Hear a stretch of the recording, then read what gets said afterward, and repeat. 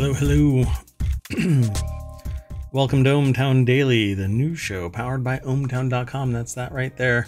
I am Mayor Watt. That is ohmtown.com. But the sentient AI is off on assignment while we're in our time machine. Today we're going to be talking about it couldn't defend itself. You'd say the project was tanked. Crypto hand wavy bullcrap. Robot fish mu- muscles. Fossil trees, zombie deer disease continues, canceling medical debt, a flying rat detained, a millipede alien face, and it might be, might be, laying it on a bit thick. This is uh, season 3, episode 33 for February 2nd, 2024 of ohmTown Daily News Show. Let's get going.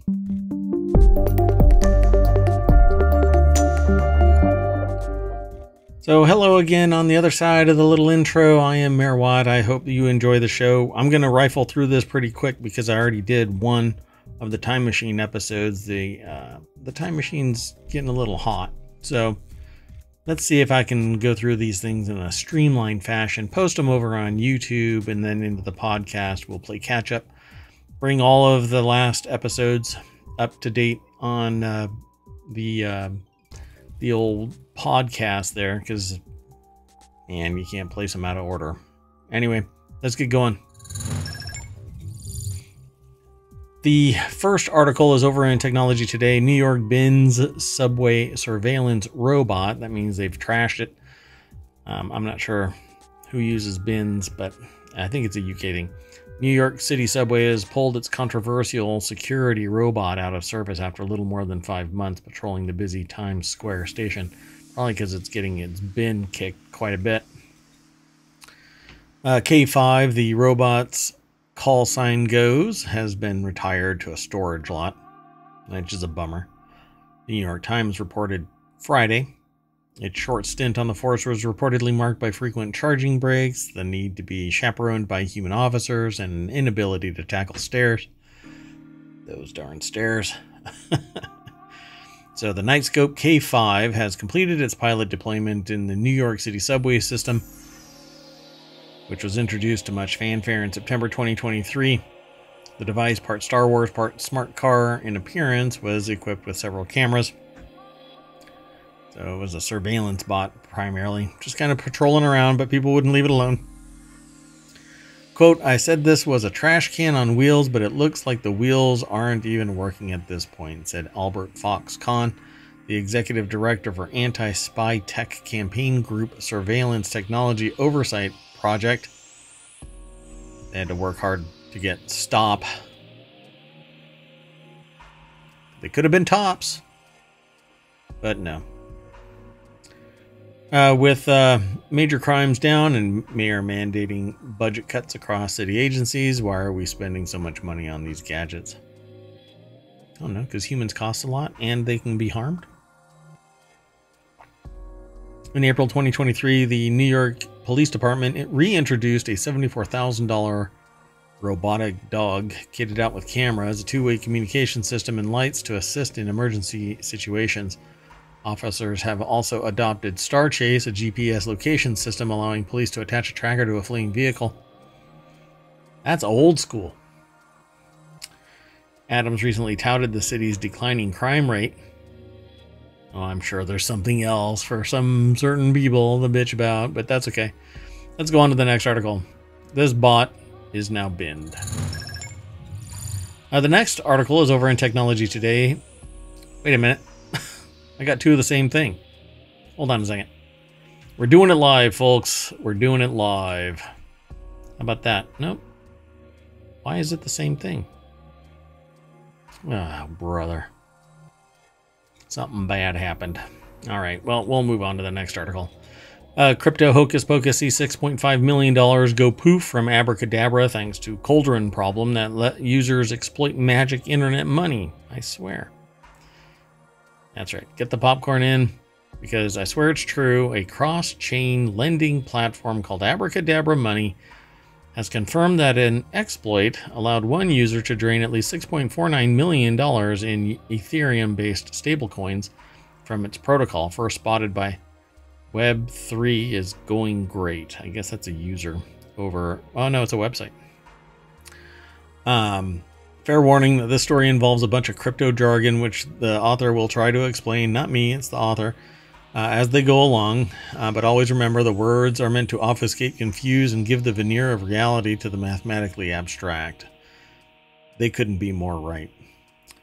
So, uh, a lot of people are being made rich by this hocus pocus crap. But anyway, um, so Rich Stanton is the author.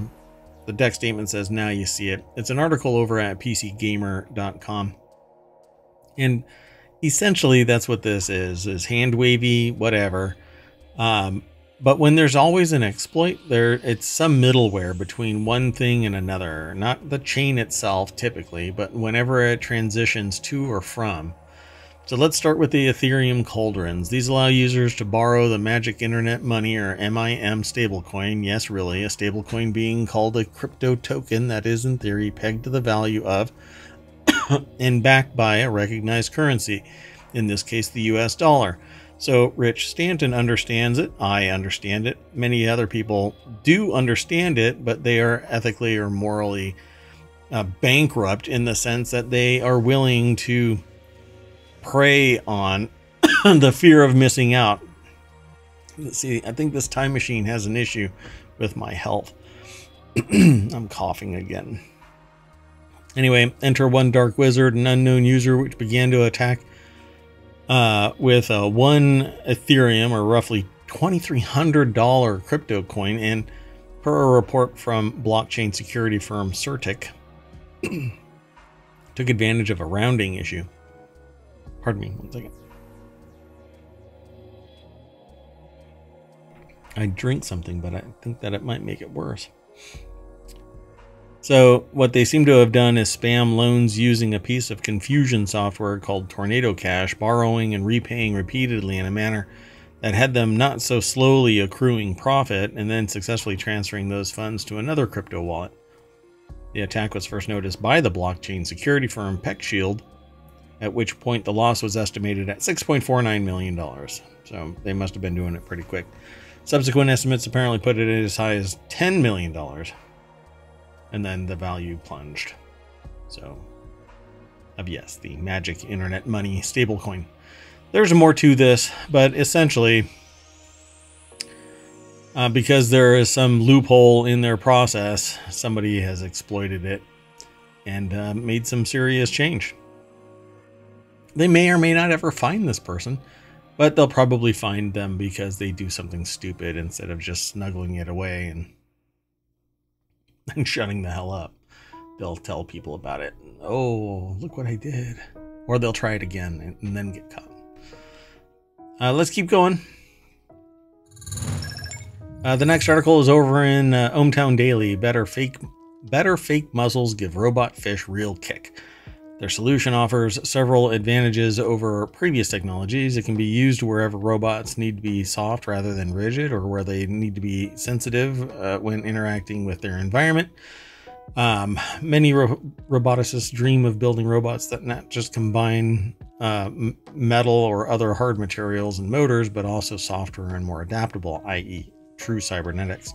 Meat and, and machine merged together in a way that is more seamless, less uncanny valley. Soft robots could interact with the environment in a completely different way. For example, they could cushion impacts the way human limbs do or grasp an object delicately. Well, actually, you can do that with robot technology too. well, the article is over. It says posted by ETH Zurich, but the author's name in the URL that's attached is Claudia Hoffman, so I'm not sure why they do it like that, but whatever. Futurity.org is where it's from. So the functioning of artificial muscle muscles is based on biology like their natural counterparts. Artificial muscles contract in response to an electrical impulse. However, the artificial muscles consist not of cells and fibers, but a bunch of pouches with a liquid, usually oil, the shell of which is partially covered in electrodes. when the electrodes receive an electrical voltage, they draw together and push the liquid into the rest of the pouch. It's more hydraulic than it is electromechanical. Gravert, who works with a scientific assistant, Katzschmann's lab, has designed a shell for the pouch. The researchers call the new artificial muscles HAV actuators, where HAV stands for hydraulically amplified low voltage electrostatic. So 90% of what I said. In other actuators, the electrodes are on the outside of the shell. In ours, the shell consists of different layers. Pardon me. We took a high permittivity ferroelectric material, i.e., one that can store relatively large amounts of electrical energy, and combined it with a layer of electrodes. Then they coated it with a polymer shell, and that has excellent mechanical properties and makes the pouch more stable. Yay. oh, gosh. It's really bothering me. Sorry about that, folks. One of these robotic examples is an 11 centimeter tall gripper, about 4.3 inches tall, with two fingers. Each finger is moved by three series connected pouches of the HAV uh, actuator. The small battery operated power supply provides small battery operated power supply. Isn't all battery all power supplies? Like if it's going to be battery operated, it's going to be a power supply. It's a small battery. Okay, whatever. I'm focusing on this. I know that some power supplies are plug plugged into mains power, but okay, whatever. The robot with 900 volts together, the battery and power supply weigh just 15 grams or about 0.5 ounces. The entire gripper, including the power and control electronics, weigh 45 grams or about 1.58 ounces and the gripper can grip a smooth plastic object firmly enough to support its own weight when the object is lifted into the air with a cord. Pretty cool. So I guess that's the gripper. Or no, that's actually an artificial muscle in action underwater. They have a video, um, so let me play it. Might as well. I'll mute it just in case there's some weird music or whatever. Untethered artificial fish. So these are the three pouch actuators. So there you go. When they're electrified, they move the little fish along. Pretty simple. Pretty smart. I like it. Um, so I, it has a, a, very small range of motion. So I suppose what they're going to end up doing is trying to figure out a new way or a more expansive way to gain range of motion. So bigger pouch. I think it's going to be bulky at some point. Maybe they can use something else to facilitate it some type of uh, like hinging technology that'll allow them to amplify the contract the contraction so that it does a, a more um, a broader range of motion in a short amount of time. Not sure. Well, let's keep going though. Uh, the next article is over in the Mobble Channel. Alien looking fossil trees uncovered in Canada, unlike any of those that live at the present. You won't believe. Haha. Gizmodo. Uh, the shape of this ancient tree, a team of researchers found a 300 million, a 350 million year old fossilized tree species that looks like something from Dr. Seuss. Apparently, that's what it looked like. Isaac Schultz over at gizmodo.com in a section that they've got labeled paleontology, so that's pretty expansive over there. The tree's canopy was 18 feet across, but its trunk was just half a foot thick. Maybe it was really strong. The fossils are some of the oldest known trees and were discovered in what was an ancient lake in northeastern Canada. The species is called Sanfordiacaulis densifolia and would have taken up residence under the taller members of the forest canopy. The first, uh, the earliest fossil trees date back to the uh, Devonian period, and these were the early Carboniferous. They like to sniff carbon. No. Anyway, um, they're just a few million years younger, apparently. So this is what it looks like, and they got it from a rock, and right there is the fossil, and then the little branches are coming off of it. You can just barely make it out. It's kind of neat. This means that the bottle brush had a dense canopy of leaves that extended at least 18 feet or 5.5 meters around the trunk that was non-woody and only 16 centimeters or half a foot thick or in diameter. startling to say the least. Not sure if startling is the right word. Maybe we just don't understand it because our trees aren't the same type of density, and so we have different properties. Okay, let's keep on going though. The next article is over in ohmTown Daily Zombie Deer Disease Spreading in North America Amid Fear of Jump to Humans. Yeah, this has been a kind of a talk in some circles. Chronic wasting disease is a deadly prion disease that is slowly spreading across wildlife in U.S. states and Canadian provinces. Um, had a recent scare with a, a deer getting hit by a car uh, immediately in front of me. Um, and it makes you kind of wonder when you know about this kind of stuff, is that being part of it? Or was that just the whole nature versus technology uh, conflict that we observe from time to time? Uh, the article is over at newsweek.com. Jess Thompson is the author. The disease, uh, officially known as chronic wasting disease or CWD, um, has been discovered in two deer in British Columbia and Canada, marking the first time the condition has been detected in the province. Counties across at least 31 states have also previously seen cases of the disease as of November 2023. That's 31 states, folks. So, yeah, this disease is still spreading. Um, as well as being detected in 23% of samples collected during the 2022 2023 hunting season in Canada's Alberta present, uh, province. It was also detected in Yellowstone recently. Yeah, so if you go hunting and you don't get your deer tested, you might actually run afoul of this. Um, they call it the uh, a bovine spongiform encephalopathy and the Creutzfeldt Jacob disease. Those are two other prion diseases. Mad cow disease. CWD is another. I'm not not necessarily going to jump to humans, but man, it doesn't doesn't sound very nice. So we won't go into why when what happens when a deer uh, becomes infected, but the uh, lifespan is approximately 18 to 30 months, and the disease's uh, debilitating impacts move slowly, and then um, this is why I, I freaked out about it because I haven't read this article, but I deer typically try to stay away from uh, cars they're attracted to the heat being emanated from the road, but they try to stay away from cars. But it says as the deer system weakens, injury, car collisions, ancillary diseases become more likely, and in the wild, the deer is killed before the zombie stage is seen. Yeah, so maybe the deer that ran out into a very, very busy intersection um, up a hill and got hit by a car may have been, you know, potentially infected, right? Don't know. Um, but you should keep an eye out and be aware of this kind of thing.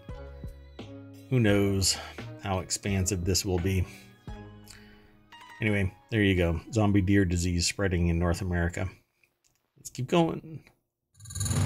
The next article is over in ohmTown Daily. This state to become first to cancel medical debt for eligible residents. It's an exclusive from ABC, but this was back on February 2nd. I'm in my time machine, so um, I'm capable of doing this via ohmtown.com. Connecticut will become the first state to cancel medical debt for eligible residents. Governor Ned Lamont uh, confirmed in an exclusive announcement on Good Morning America. So Meredith Deliso over at GMA or Good Morning America uh, wrote this article. It's posted over on abcnews.go.com. Some 250,000 residents are expected to be eligible. That's nice.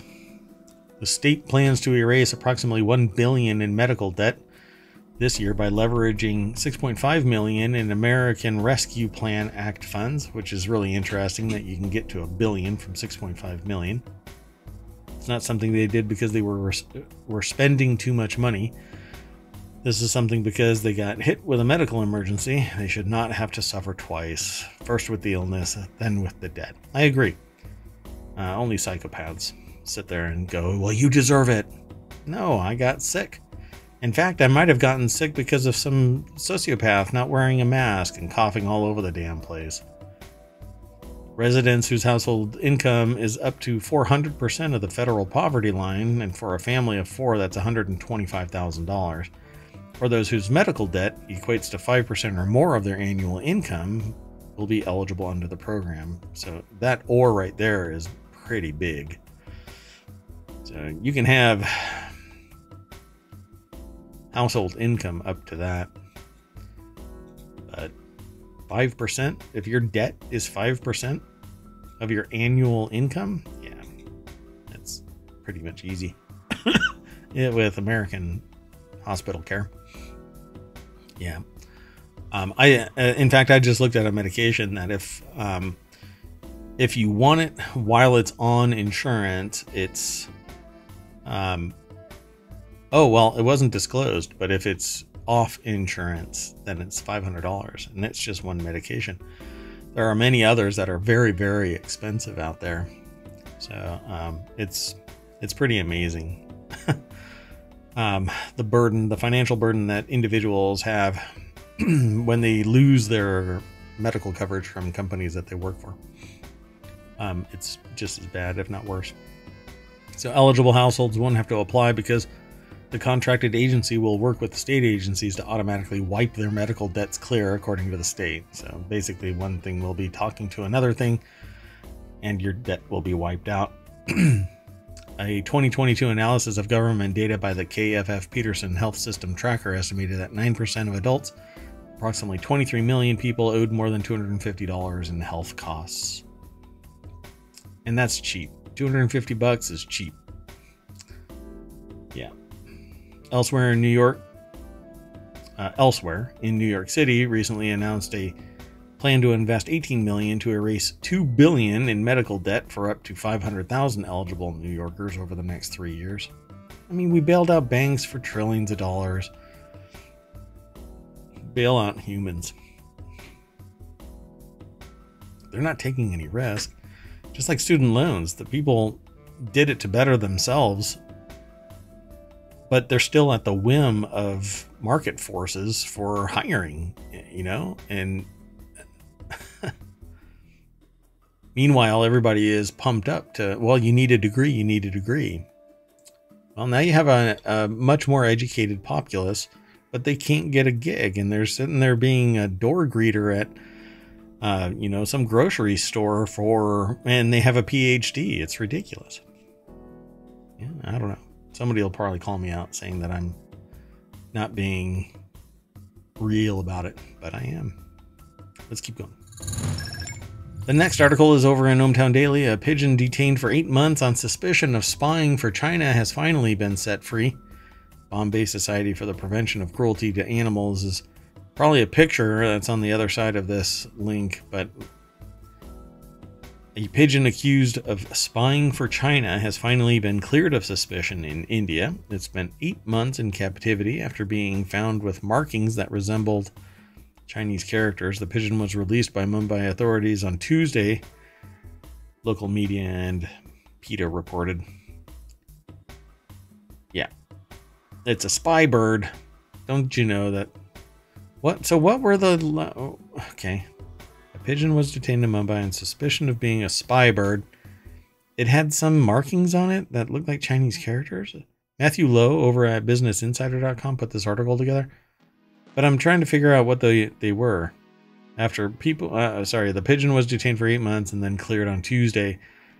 Um, after police cleared it of suspicions that it was a spy bird. What was it gonna do? Oh, I know. It tweets. It tweets a lot. Oh. So this is what they found. Police had found the pigeon was uh, with an illegible message written on her wings, PETA said in a statement. So there's supposed to be something written on here? All right. So use AI and, and try and figure out what that is. So it's funny. It, uh, the picture it, it, says that it was shot at a or with a particular camera.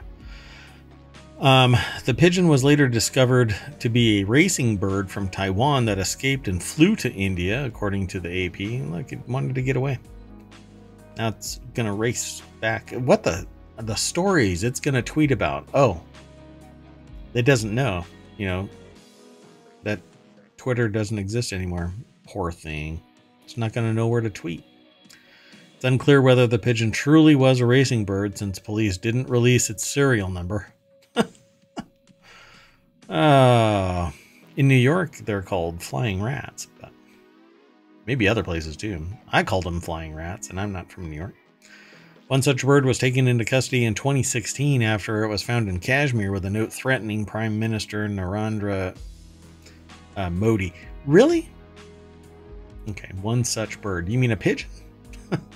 Another was detained and x rayed in 2015 after being captured along the India Pakistani border with a note in Urdu stamped on its feathers. Man, people are using these uh, birds are real peckers, aren't they? I'm going on. The next article is over in ohmTown Daily. Five new alien-faced species of millipede revealed in remarkable find. One of the New millipede species belongs to a whole new genus of the critters that had never been discovered before. The article is over in uh, Newsweek.com. Jess Thompson is the author. Uh, the new species, which uh, resemble something out of a sci fi movie, were found in the forest litter, the floor canopy, not the canopy, but the floor, um, of uh, Tanzania's most remote Udzungwa Mountains not most remote, but remote, uh, according to a paper in the European Journal of Taxonomy. That's what they look like. They actually look more like uh, turtles, turtle heads. Um, it's remarkable that so many of these new species did not appear in earlier collecting of millipedes from the same area, but we were hoping for something new, and they got it apparently. We record millipedes of all sizes during our field work, and uh, to measure forest recovery because they are great indicators of forest health. But we didn't realize the significance of these species until the Mira. Um, Myriapodologists. Really? Like many feet research? Okay. Um, had assessed our specimens Andy Marshall, a professor of tropical forest conservation at the University of the Sun- Sunshine Coast and discoverer of the new species, said in a statement. cool. Well, there are about 12,000 species of millipede around the world, but the true total may be much higher. Some estimate the say that there's going to be 15,000 species in total, but others think that there's as many as 80,000. Most millipedes are fairly small, but the re- uh, largest species of millipede found in Africa can grow as large as 13.8 inches long. These new species are much smaller than this, about an inch. Had 200 or so legs. Pretty wild. Uh, I thought that's a centipede, not a millipede. Guess that's a millipede. Okay. So cool. New millipedes. Everybody just look down. You might find one. Uh, the next article is over in ohmTown Daily. A junior high principal was fired after he was caught pouring more coffee than he paid for. That bastard. A junior high principal was fired after getting caught trying to steal an extra half cup of coffee. You bastard. He would pay for 75 cents but pour himself a $1.25 cup at a convenience store per local media. But he was caught in December by a store clerk who called the police as the principal tried to leave. You bastard. The principal of a junior high school in Japan was dismissed at, from his job on Tuesday over 50 cents. You are a horrible human being, sir. I don't understand. So, did he use a larger cup? Because if it's a smaller cup and you poured a dollar twenty-five worth of coffee into a seventy-five cent cup, this is dumb. Uh, Matthew Lowe over at BusinessInsider.com put the article together. Um, let's see. Look, I get it, but it's coffee, and let's see. The principal said he poured himself extra coffee seven times throughout the year until he was caught in December by a store clerk who called the police. The coffee caper. Sorry, I'm bouncing back and forth, but my mouse is not allowing me to just go slow here. The principal apologized to students and their families in a statement through the board. It's just sad. Local prosecutors decided not to press charges on the principal. The regional outlet Kobe Shimbun reported. It's not the first time Japan was has caught uh, convenience store criminals trying to cheat their way to more coffee. My God, it's 50 cents. In January 2021, police in Kumamoto City arrested a 60 year old man accused of repeatedly pouring $1.35 lattes into a cup of 70 cents coffee. You know, it's so dystopian. It's not like if coffee coffee was worth that much, like jail time. Plus, wasn't the last person 59? It is. So I think it's like a, a crisis. As soon as you hit 59, 59 and 60 year olds in Japan suddenly really, really, really want to rip off a little bit of coffee. And I think at that age, you kind of deserve a free one every day. I'm not yet 60, but I would love to have a free cup of coffee because I hit 60. Just do that for a year. I know, it's a cash crop, so nobody's going to give me free coffee. All right, that's it, folks. I am Merwat. That is ohmtown.com, and the visualizer is just idling there because they're not here in the time machine. The sentient AI from the future is off on assignment doing some fundamental research themselves. That's all right. We're playing catch up in the time machine. We got another day ahead of us, and then we're all caught up. Pretty exciting times, folks. Pretty exciting times. Then a whole week of the podcast is going to drop.